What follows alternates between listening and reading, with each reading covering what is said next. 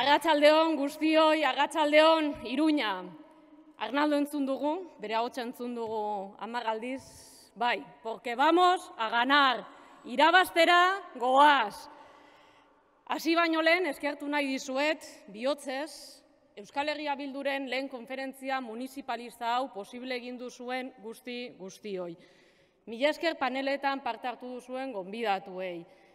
Euskal Herritik zein nazioartetik etorritakoei. Muchísimas gracias, compañeras, por habernos acompañado en estas jornadas tan importantes para el municipalismo en Euskal Herria. Juntas hacemos camino. Nola ez, eskerrik handiena iruñara etorri zareten autetxi, bilkide eta kide guztiei. Eta norabide berdinean, tokian toki, lan nekaezinean ari zareten herritar xume guztioi. Mila esker, hemendik txalo zaparra da indartzua hauei guztiei. Zuei, eskerrik asko eta gora zuek!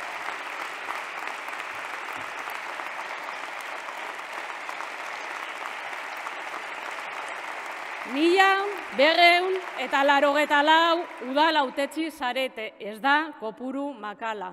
2008ko udal hauteskundeetan herritarren bosa aukeratutakoak. Askotan, nekatuta, ordu txikitan, telefonoa ezin itzali, deskantzatzeko eta deskonektatzeko aukerarik ere ez duzuenak, eta dana musutruk. Batzutan, inkluso bakarrik zaudetenaren sentsazioarekin, nirla baten zaudetenaren sentsazioarekin, baina ez zaudete bakarrik.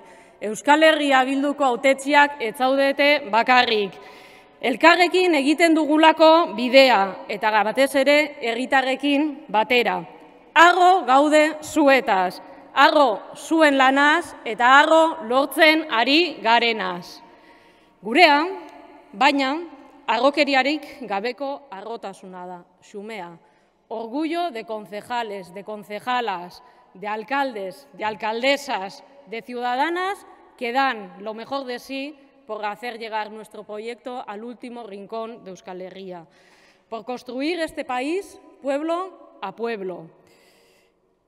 Y además, además, pese a todas las pese a todas las piedras que nos encontramos en el camino, somos la primera fuerza municipalista de este país.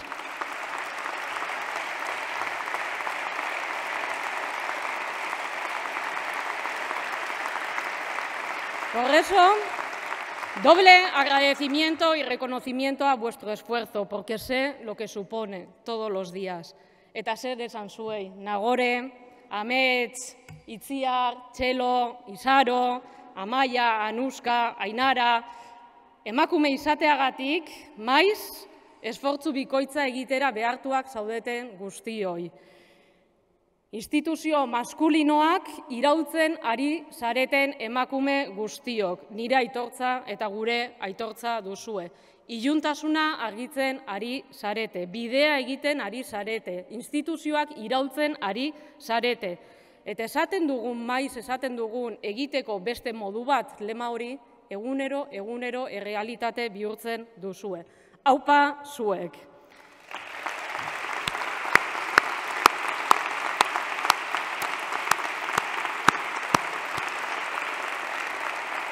Aitzindariak gara. Aitzindariak gara, baina ez gara utxetik abiatzen. Independentista, subiranista eta eskertiarrak aitzindariak izan gara historikoki Euskal Herriko municipalismoan. Modu eraikitzailean, komunitarioan, aurrerakoiean egin dugu gure lan guztia. Eta horregaitik gaur, hiriburuzagi honetan, gogor ekarri nahiko nuke, mila beratzireun da irurogeta amaseian bergaran sortu zen alkateen mugimendua. Ondoren, Euskal Herri guztira edatua. Izan zirelako gara. Izan zirelako gara. Épocas aquellas en las que Euskal Herria, también desde los ayuntamientos, desde los municipios, hizo frente a la ultraderecha franquista. El movimiento de los alcaldes de los 76 y Curriña en mano supo congregar una alternativa comunitaria y de país de la que hoy en día nos sentimos más orgullosas que nunca, porque fueron, somos, y porque somos, serán. Y sí, la izquierda independentista ha liderado la transformación política y social de este país históricamente y lo seguimos haciendo y lo seguiremos haciendo. Honek bereizten gaituelako. Esker soberanistaren udalgintza mugimendua ez da instituzioaren lau paretetara mugatzen. Instituzioa eta kaleak, kalea eta instituzioa. Aldebiko harreman horren bitartez egiten dugu guk eraldaketa. Eta egiten ari gara. Ez dira garaiegazak politikarako. Ante el descrédito de la política y el del gaste de la misma, los discursos recentralizadores y de odio sobre todo, hoy podemos reiterar que no todas somos iguales. No somos todas iguales. Los alcaldes y las alcaldesas y cargos electos de Euskal Herria Bildu no son iguales que los de otros partidos políticos. Gure herriekiko eta gure herriarekiko maitasunak batzen gaitu. Kompromisoa eta balorea. Kompromiso y valores. Eta gaur, kompromiso horretan berresten gara. Eredu berdinzale eta justuago baten aldeko kompromisoan. Eta guretzako honek izen badauka. Euskal eredua. Martxoaren hogeita marrean aurkeztu genuen Bilgo, Bilboko Euskalduna jauregian Euskal Ereduaren proposamen politikoa. Herriari, herritarrei begietara begiratzen dion proposamena. Herriari, herritarrei begietara begiratzen dion eredua. Haien nahi eta beharrak erronka globalekin sinkronizatu eta aterabide jasangarri eta emantzipatzaile bat eskaintzen diona. Begietara begiratuta eta batez ere aurpegia emanez. Euskal eredua posible egiten duzuen pertsonok izen abizenak dituzuelako. Eraldaketaren lidergoak Euskal Herrian izen abizenak ditu. Lekukoak dituen bezala, Durango, Ordizi, Zumaia, Lizarra, bueno, zerrenda amaigabea da, eta errealitate bat da Euskal eredua zuen herrietan. Asteburu honetan, esperientzia guzti horiek ezagutu, elkarbanatu, jaso ditugu, eta orain hemendik zuei dagokizue zuen herrietara zabaltzea. Guztioi dagokigu hauek herriratu eta euskal eredua azken txokorarte eramatea. Porque nuestro modelo es un modelo que mira a los ojos a la ciudadanía, mira a los ojos y da la cara, se palpa, se huele y sobre todo se siente. Un modelo que se deja la piel y la pandemia ha sido claro ejemplo de ello. Un modelo que va más allá de las siglas, que antepone el país al partido y demuestra su capacidad transformadora día a día. El modelo que hace de este país un país mejor. Un país mejor, herri hobe bat, nazio bat, eta momentu hau baliatu nahiko nuke gure ipar euskal herriko kideak gogoratzeko udalgintzan ere lanean neka ezin ari diren kideak gogoratzeko. Urruñan zein ustaritzen bezalako udaletan egiten duten lana txalotzeko. Olatu abertzalea geldia ezina da. Eta orain, hauteskunde legegileetan ere erakutsiko dute. Beraiei, Euskal Herria Bilduren, babes eta indar osoa. Egon zaitezte ziur, zuek handik eta guk hemendik lortuko dugu.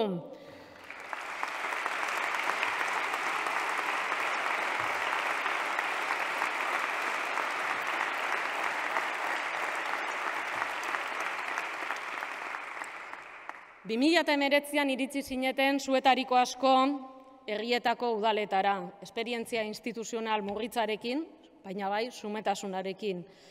Eta batez ere, aipatu ditudan balore eta konpromisoarekin guztiok. Azken irurteak ez dira bat ere errezak izan, batez ere, lehenengo urtea zerbait egiteko izan genuelako, baina bigarren urtetik aurrera, ba, ekimenak berrazmatu eta moldatu behar izan dituzuelako. Baina orain, hemen gaude, Hemen gaude bai, aurrekaririk gabeko izurrite bati aurre egin ondoren, ziur gabetasunari, gertutasun eta zintzotasunarekin erantzun diogulako. Errez eta berriekin, eskuz eguzku egin dugu lan, erritarrekin batera. Eta guk ere, gu guztiok batera egin dugu. Herri ezberdinetako alkate eta zinegotzien arteko harremanak sortuz, irizpide aman komunak adostuz, materiala trukatuz. Azkenean, herritarrak zainduz, elkar zainduz eta babestuz. Porque nos preguntamos ¿Qué puede esperar la ciudadana de una institución que más le conoce? Pues que resuelva sus problemas con contundencia, con solvencia y con rapidez.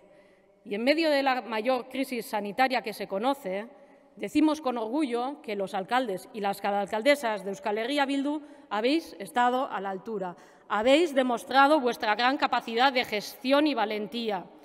Cuando otros agachaban la cabeza o simplemente ignoraban las necesidades de la ciudadanía, nosotras hemos estado ahí.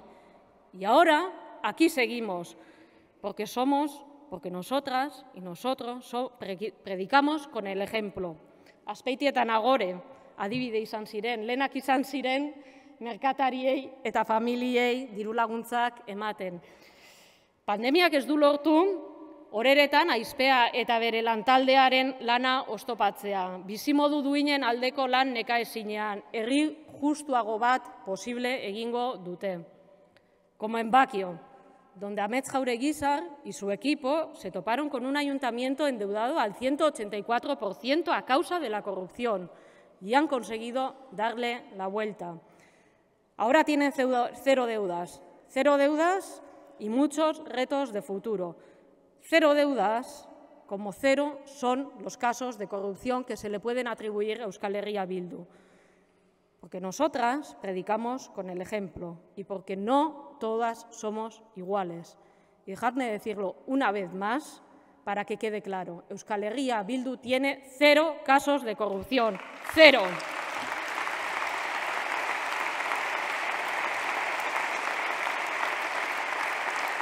Eta badugu, badugu, beste zero bat erreferentzia ere. Kilometro zeroko politika egiten dugu. Badakigulako politika egiten, badakigulako herritarrentzat osasuntsua den politika egiten. Lurralde oreka bermatuko duena. Adibidez, oihartzunen Jesus Leonetek nola jarri duen lehen sektorea bizi berritzeko proiektua. Edo berri, berdin udal sukaldea martxan jarri izana.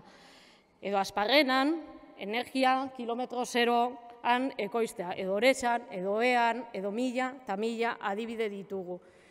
Buru jabetza praktikan jartzen dugulako. Porque la soberanía es imprescindible. Más aún, cuando la globalización deja cada vez más desprotegida a la ciudadanía. Es por ello que si hablamos de municipalismo, la soberanía es nuestra bandera natural. Y ante estos retos globales, ante estos retos globales, son imprescindibles nuevas soluciones, nuevas soluciones que deben de venir de la mano de nuevos liderazgos. Oian alkateak sarri esaten duen bezala, mundu hobe bat posible egiteko, herritarren zerbitzura, herritarrekin elkarlanean, zerbitzuak eskaintzetik, zaintzak eskaintzera, zaintzak eskaintzeko komunitateak eginez, elkar zaintzen duten komunitate bizigarriak eginez. Eta aurretik aipatu ditudan adibide hauek gutxi batzuk baino ez dira. Gaur asko ikusi ditugu eta gehiago ditugu. Eta ez dituzte alkateek soili gauzatzen, alkateek eta arlo-sarlo, sektore-sektore lanean ari diren zinegotzi eta herrietako kide guztiek. Hauen alegina eta esfortzuari esker egiten dugu aurrera. Eta adakigu, hauek ez dira EH Bilduren proiektuak, noski ez direla EH Bilduren proiektuak. Eta horrela aldarrikatzen dugu, guzti hauek herriaren proiektuak dira. Guk herriarekin egiten dugulako. Herriarekin egiten dugu baina ez lirateke posible izango lidergotzarik gabe, zuen guztion lidergotzarik gabe. Un liderazgo que siempre compartido y entiende sobre todo de acuerdos, de acuerdos y de mayorías, porque nosotras no gobernamos solamente para quienes nos votaron, gobernamos con los ciudadanos y las ciudadanas. Y en el caso de Galdacao, con Íñigo Hernando como alcalde, en colaboración además con tres fuerzas políticas, con diferentes, en beneficio de la mayoría y sus intereses. En definitiva, el modelo de gobernanza municipal que defendemos y practicamos no trata de ofrecer servicios, sino de ofrecer cuidados, bienestar y un futuro próspero. Y esta es la demostración del modelo que definimos. Es una constatación palpable en todos los municipios que gobernamos, en Arrigorriaga, en Oñati, en Bastán, en Arganzún y en otros cientos y cientos de lugares de Euskal Herria, porque nuestro modelo se construye día a día. Lo estáis construyendo pueblo a pueblo. Eta gabe bukatzen. Ez ditut ahaztu nahi oposizio lan zintzoa egiten duzuen autetxi guztiok. Milaka eta milaka kide saretenak. Herritarren gandik eta haien kezken gandik urbil. Proposamen ausartak eginez. Foku eta kameretatik kanpo, inurri lan izugarria egiten duzuenak. Egon ziur, hoga ere, iritsiko garela. Egon ziur, urtebete den buruan, gaur urtebete ospatuko dira hauteskundea gainera, emaitza izugarriak lortuko ditugula. Gu, ez ginelako politikara etorri egotera, egitera etorri ginen, egitera eta eraldatzera, gauzak aldatzera, bere profesiotik, ofiziotik, saletasunetik, lanera etorri ginen. Urtebete dugu aurretik, eta erronka ez da makala izango, ez dizuet gezurrik esango, urte gogorra dugu aurretik urte gogorra lan asko eta izerdi andana bota beharko duguna. Baina badugu abantaia bat, ez dugula antzerkirik egin behar, ikusi dugu gaur antzerki nahikoa.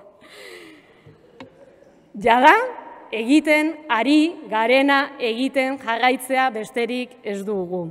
Erritarrekin, elkarlanean, auzolanean, euskal eredua posible egiten egin eta jarraitze eta zabaltzen jarraitu dezagun. Euskal eredua posible egin dezagun gure herri guztietan. Herri hobeak egiten, Euskal herri hobe bat egiteko. Asko gara, gauza handiak egiten ditugu, gehiago izango gara eta gauza handiagoak egingo ditugu. Gu gurera, Euskal eredua egitera. Gu gurera, aske eta berdinen Euskal Errepublika irabastera. Hau pasuek!